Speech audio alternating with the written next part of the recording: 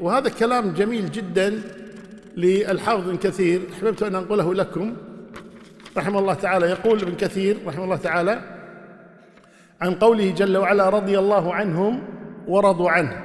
قال فقد أخبر الله تعالى أنه قد رضي عن عن السابقين الأولين من المهاجرين والأنصار والذين اتبعوهم بإحسان. فيا ويل من أبغضهم. أو سبهم أو أبغض أو سب بعضهم ولا سيما سيد الصحابة بعد رسول الله صلى الله عليه وسلم وخيرهم وأفضلهم.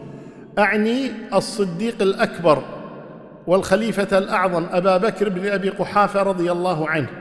فإن الطائفة المخذولة من الرافضة يعادون أفضل الصحابة ويعصونهم ويسبونهم عياذا بالله من ذلك. وهذا يدل على أن عقولهم معكوسة وقلوبهم منكوسة. فأين هؤلاء من الإيمان بالقرآن؟ إذ يسبون من رضي الله عنهم. وأما أهل السنة فإنهم يترضون عمن رضي الله عنه. ويستنون آه، ويسبون من سبه الله ورسوله. ويوالون من يوالي الله ويعادون من يعادي الله. وهم متبعون لا مبتدعون ويقتدون ولا آه، يبتدون ولهذا هم حزب الله المفلحون وعباده المؤمنون.